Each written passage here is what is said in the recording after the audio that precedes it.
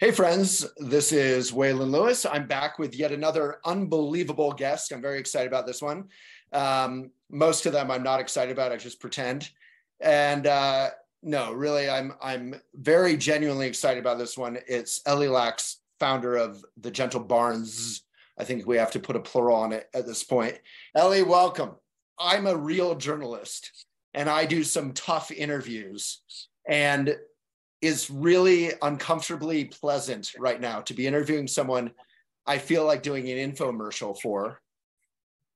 Um, tell everyone about what you do and why is it so wonderful? Why am I so excited? um, well, first of all, thank you so much for having me. The Gentle Barn is a 24 year old national organization located in Los Angeles, California, Nashville, Tennessee, and St. Louis, Missouri. So you started in 99 or 2000? We started in 1999. Wow. And we are home to horses, cows, pigs, sheep, goats, chickens, turkeys, peacocks, llamas, emus, dogs. Um, and we take in specifically animals that have nowhere else to go that are unadoptable. So they're too old, too sick, too lame, or too scared to be adoptable. We bring them in, we rehabilitate them with a whole slew of methods, including acupuncture, massage therapy, chiropractics, energy healing, animal communication, and of course, lots and lots of love. Once they're happy and healthy, if we can find them homes of their own, that would be great. And if not, then we give them sanctuary with us for the rest of their lives. And then, if and when they're ready, we partner with them to heal people with the same stories of trauma and connect people to the love and magic of animals. Uh, I feel like you're so pro at saying this. You've you've said this once or twice before. So, so what kind of homes, if they can find a home, what kind of homes do you look for? Other rescue farms or? Um, you know, there are individuals that have land and that say, "Oh, we'd like a few sheep or a few goats or um, a horse or a dog." Um, the only we have we have adopted out chickens and turkeys. The only animal that we've never adopted out is a cow, which I think is crazy because I think everyone in the entire world should have a cow. They're the best. Yeah, we have a couple local sanctuaries here, and there's um, one cow in particular who's a giant, like I don't know, three tons or something. I don't know how big, but just a giant. And and he um, is like a huge puppy dog. He loves cuddling He's incredibly affectionate. Yeah. yeah. I only have a normal yard back here, but I if I had a couple hundred acres or dozen acres or whatever, I can imagine having a cow that wasn't being exploited um, would be like having a huge puppy. They are giant, giant puppies. They look just like dogs to show affection. They love tummy rubs. They love cuddles. Yeah. Um, we have cows that walk on leash and come when we call their names. They're amazing. I want to ask, I'm going to assume, are you vegan? Oh, of course. Yes. So, um, when did you become vegan? Like what, how did all this sort of start way back? I mean, in the 90s, almost nobody was vegan. Well, I'll take you back even further. Um, the Gentle Barn was my dream since I was seven years old. Um, I was born loving animals. I saw them as my best teachers, healers, and friends. Um, and it perplexed me that the people around me didn't see me that see animals that way. They saw a little them. dog in the background just agreed with you heartily. Yes, little one has a lot to say. Um, but you know, I was confused as to why the people around me didn't love animals the way that we that I did. And from the time I was seven, I kept saying, when I grow up, I'm gonna have a big place full of animals and I'm gonna show the world how beautiful they are. And it was my dream, but I didn't know how to start it. So I procrastinated for a really, really long time. And then I but finally. Before, but before you go forward, I feel like so many children love animals, right? We read about animals in children's books. But how did you stick with that? Like, was it your parents? Was it just you having this dream? Like, how did that not, how did that dream not die? You know, honestly, um, I was going through a lot of challenges growing up, um, not fitting in, feeling lonely, feeling a little different than other people because I realized that I loved animals and they didn't. And um, it was always animals that I kept turning to. And the worse my life got, the more I turned to animals. And so that connection with animals was never, ever, ever lost. I went vegetarian when I was 11 years old because there was a chicken in my school. And I realized that the principal was going to take her to the slaughterhouse. And I went home that day and said I was never going to eat animals again. And then 24 years ago, when I finally was uh, told what happens in the dairy and egg industry, I went vegan on the spot. Yeah. Amen. Yeah. Someone asked if we're both vegan. I am vegan. I've been vegan for a long time. Um, and it was a similar story, but I didn't stick with it. So when I was a little kid at six years old or whatever, I was told like we were eating pasta or something and with that we were eating like ham or something. I was like, are you kidding? I've been reading a children's book today about pigs. And so I went vegan on the spot, but it was like 1980, 1980. And no one around me, you know, it wasn't a thing. And of course I I dropped it. I lost, I lost it after a while. So I really admire that like you kept turning to that. You know, I just have a new puppy I showed you before we went live and you know, I had like a rough year last year and having a puppy, just being around an animal, there's so much healing and joy. And I can see that as a kid, you know, they're called, you know, there's animals are used for therapy all the time for that reason. Yes, I Yes, agree. I agree.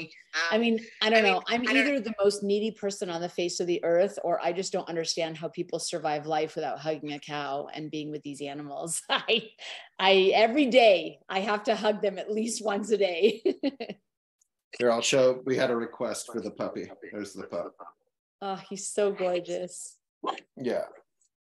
Um, so, you know, you're, I think from the outside, you know, especially if you're an animal lover or a vegan, which can be two different things, um, you're like living the dream life. But as someone who runs a business with a reasonably sized staff, are you able to manage? I mean, how many gentle barns are there now? Three. Yeah. So you must have a lot of staff and volunteers and moving parts and logistics and emergencies and all fundraising, all kinds of moving parts, right? Yeah, it's crazy. We have three locations. We have 200 animals. We have about 50 staff, hundreds of volunteers. Um, Wow. It is a full time job and then some. And um, I don't know. I wake up in the morning and I keep running until I flop down at night and start again the next day. That's my life. And are you able to maintain that joy and that connection with the animals and like the joy and love in the mission? Or do you get caught up in, I mean, running a business that big, even if it's a nonprofit, is a lot, right? It's a lot. It's a lot. Yeah. It's a You're lot. doing a lot. And it, it's it's it's so much because we have to raise the money and then we have to spread the awareness and then we have to host the groups and then we rehabilitate the animals and rescue more. And um, I feel lucky every second of my day that I get to do it, but it is a lot. It is a big job and it is definitely not for the faint of heart. And whenever I feel exhausted um, or defeated, I go out to the barnyard and those animals recharge my batteries and keep me going. Oh, I love hearing that. So if everyone watching here uh, isn't already, follow the Gentle Barn and is donating the best way that we can help? What's the one way we can get involved or help? Uh, Yes, I mean, donating, we can't do any of this work without the help of the community to afford the hay and the vet care and run our programming. So donating is such a big need, of course, because with every dollar that comes in means another life that we can save. Um, the other way people can help is, of course, follow us on social media, fall in love with these animals and share it with their friends and family. And honestly, the biggest way people can help is to go vegan because every person that goes vegan saves 200 animals. And the more we go vegan, Like every year, you mean? Every year, yeah. One person that goes vegan saves 200 animals a year, 1,100 gallons of water a day, an acre of trees every year, and we decrease our own risk of Western disease by 90%. So it's a win win for the planet, for animals, and for our health. And most importantly, you know, once the world goes vegan, we're not going to need sanctuaries. We'll just all love animals together. So if you want to help animals, really, you know, my goal in life is to work myself out of a job. We'll have a vegan world and we'll just be able to love animals together. It's such a beautiful and simple vision. It's like almost like out of some fundamental text. I want to say the Bible, but there's all kinds of different philosophies all over the world. But if we could just all live on this earth in harmony, not killing and torturing each other, not going into war, not raping, not doing all these awful things. You know, like so many people, I have a big social media presence. So many people are commenting saying, Oh, your dog, dogs are so lovely, dogs are the best. And I'm always like, please extend the love you have for your dog or or from afar for my dog to all dogs. I mean, I mean to all animals. Like all animals are this worthy of feeling safe. I'm gesturing at my dog, um, safe and loved and cared for, and and they give us so much in return. I agree. And, you know, I think that there is that disconnect because obviously we're used to having dogs, cats, and even horses as part of our families, but it's right. less common for people in the city to come across cows, chickens, pigs, turkeys. And that's really why the Gentle Barn exists. Because when I met a chicken at the age of 11, it was obvious to me that I was no longer going to eat animals. And if everybody can have that connection to hug a cow, cuddle a turkey, give a pig a tummy rub, hold a chicken, look into their eyes, hear their stories of resilience, and realize that we are all the same, then going vegan is a no brainer. And so we're opening Gentle Barns so people can come in and have those experiences and realize that a cow, a pig, a sheep, we're all the same. Yeah, I mean, you and I can talk all day until you're blue in the face, but when you go to the rescue, to the farm, to the barn, and you can, you know, actually connect with an animal, right? It's all right there. As someone said, is this utopic? Is this a utopia? I mean, we can do it. The definition of a utopia is it's unrealistic and it's the only thing holding us back from this is us. Like we can be kind to animals starting today. I'm vegan. I'm 200 pounds. I climb. I bike. I whatever. You know, I'm active. Um, it's not to say that different people don't have different health issues, but overall, veganism is way healthier and healthier for the planet, the next generations who are, you know, going to live on a cooked planet. And it's also torturing. Like you know all this, Ellie, but it really it hit me in the same way. I was vegetarian for like for 10 years or something but when you look at dairy, you know, there's actually torture involved, separating the little calves from their moms. It's awful. And and you know, then the dairy moms get killed, et cetera, et cetera. You know all this. The chicks get ground up often. Like it's no better. So you kind of got to go vegan and just be full of love. I don't think that's utopic. Love should not be utopic. Love should be the norm in our society. And yeah. you know, it's interesting. Um, you know, with Mother's Day um, mm. around the corner, I like to say that going vegan is a feminist issue because it's the mothers that are suffering for people to eat their babies. Um, the dairy industry, the only way that you can get breast milk from a cow is to impregnate that cow and, and have that cow have a baby. It's breast milk. And so they have to create a baby to have the breast milk, but then the baby is killed and the breast milk stolen for people. And the same with the meat industry. Um, they impregnate the moms who have the babies that then go off to slaughter, and then the moms are impregnated again. So it's a feminist issue. It's something that all moms should stand up um, against. It's something that, you know, if you have a mom, if you are a mom, if you understand being a mom, it's time to stop exploiting animal moms because they want to love, nurture, protect, and raise their babies just like we do. And yeah, it's, a, I mean, you know all this, but it's a human rights issue. Like the people who work in factory farming have incredibly high rates of depression and suicide and trauma. You know, it's not good for climate change is a major driver of climate change. And if you care about children and your grandchildren, et cetera, you got to care about animal welfare. You know, I'm Buddhist and it, and the Buddha was teaching this stuff like, you know, thousands of years ago. I mean, it's not like a new radical idea. It's an old radical idea, I guess. Yeah. So, but getting back to your story, someone said, How did it start? We got into some of that, but tell me a little bit more about that chicken. So there's one chicken at your school, it sounds like, and you made a relationship with the chicken?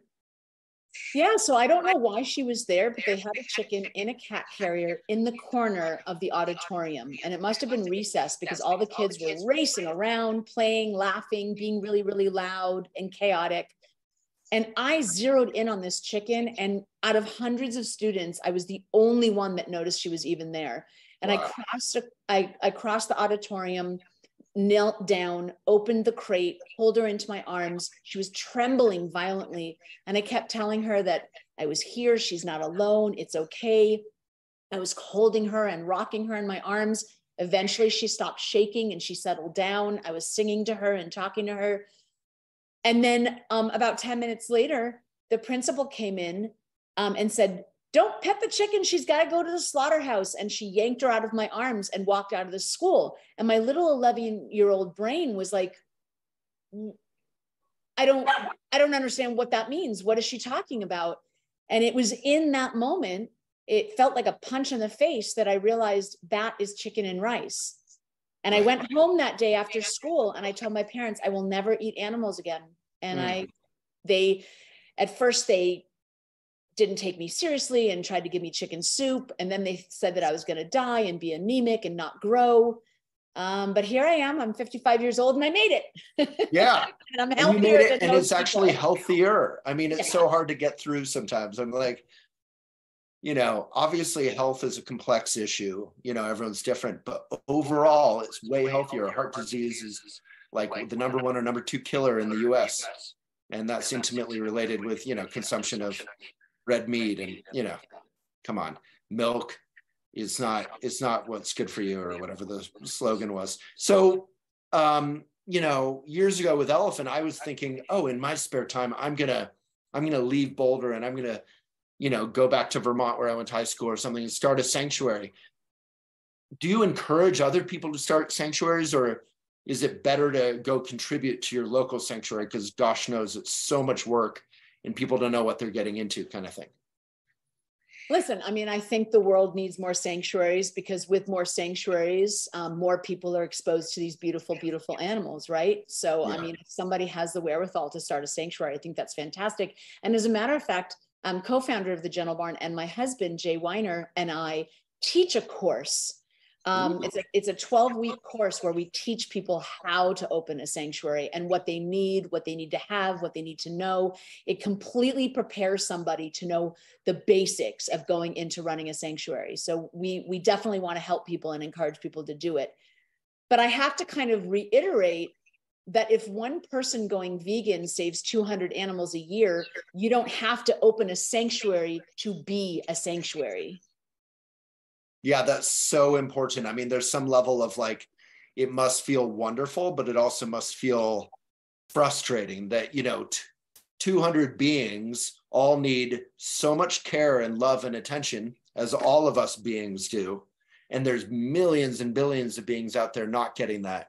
So, the exactly what you just said. Uh, you know, we can save and, and serve so many more lives and so much more love by just going vegan today. Yeah, I mean, you could open a sanctuary and bring in 200 animals, or you could go vegan from your apartment and save 200 animals. yeah. yeah. Um, so, do you ever think about like, do you have um, vegan food on the premises? Like, you must think about like a uh, restaurants at the sanctuary, and and um, I don't know. I, I feel like there needs to be like a really good vegan chain restaurant with integrity, which I still don't really feel like there is that I know of. It's always been um, me and Jay's dream to have a restaurant at the Gentle Barn. Um, so yeah, far, yeah. because of zoning laws and just our giant to do list, we've never gotten to it. Um, but we have a garden, we have a vegetable garden, and um, we have all kinds of programs for underprivileged and underserved uh, children and adults. And they can come and pick vegetables from the garden, they can help feed the animals, they can bring vegetables home and teach their families at home what to do mm. with it and how to prepare it. Mm. You're so inspiring. So this and coming back to that course real quick, um, that's on your site. Is that all like virtual? You just sign up and you get the videos and that kind of thing? Uh, oh no, no. Um, the actual course is in person. So it's on oh. Zoom. It's on Zoom. And the first 10 weeks are um, it's an interactive class curtailed to your dream because not all sanctuaries look alike and not all people want to start the same version of a sanctuary. And so we want to know what your dream is and what is the dream coming through you specifically where do you want your sanctuary? What kind of animals do you want to rescue? Uh, do you want to be open to the public and serve the community or do you want to just be closed? So we find out first and foremost what dream is coming through you and then the entire course is specifically for what you're trying to build and how to do it. And then the last two classes are reserved for when you're actually up and running. So you can have two classes with me and jay about like okay we just gotten these two horses what do we do? Or we're having these fundraising issues what do we do? And so it's like real life classes the last two and there must be a lot to it. Like there's you have to have a veterinarian you have to have the fundraising you have to have the social media you have to actually know how to run a farm on some level. We talk about zoning buildings structures stalls how to feed the animals. We talk about veterinarians volunteers. We talk about programming. We talk about um, staff. We talk about um, contracts and hold harmlesses and how to protect yourself. legally um, and we taught there's there's several classes that are actually reserved for things that you wouldn't think of. We talk about compassion fatigue. Mm. We prepare people because when you're running a sanctuary, or even when you're an empath or a vegan or a very sensitive person living in this world, um, just the things that go on in this world, let alone running a sanctuary and having animal issues, um, you're going to come up against compassion fatigue and we prepare people so that they don't crumble, fall, and fail, that they can keep going. We talk about how to walk animals home with dignity because there's very specific ways that you can be there for animals at the very, very end. Mm. Um, we have a whole course dedicated to veganism, not just teaching about veganism, because obviously, like for you know, you're for you as an example, you are already vegan, but we talk about how to teach veganism and how in, to inspire others to go vegan through your sanctuary. Um, It's so sort of the public relations and the mission radiating out of the the sanctuary. Yeah, because probably a lot of people, I would imagine, think about the animals in the sanctuary, but then are like, you know, and want to be open on some level to to the public, but then you know that's the whole thing, like tours and how to talk to people and sounds yeah. so overwhelming just thinking about it. It's like 18 different things. Yeah. And that's a whole course. And then of course we have a course for development. Um, mm. It's it's really great because you know when I first started the Gentle Barn, we didn't have social media, and I was one out of maybe three sanctuaries existing in America, and right. so I really wanted to get in front of everyone in America. So my original dream was to have a Gentle Barn in every state. Now, over the course of the last 24 years, it's been it's taking too long. But meanwhile while we've built the the three sanctuaries that we do have we now have social media so we can get in front of a global audience. And there's other sanctuaries popping up all over the place. And so instead of us having a gentle barn in every state jay and i were like well let's teach other people to do this so that it can happen faster. Right. If you can help create the culture that's so smart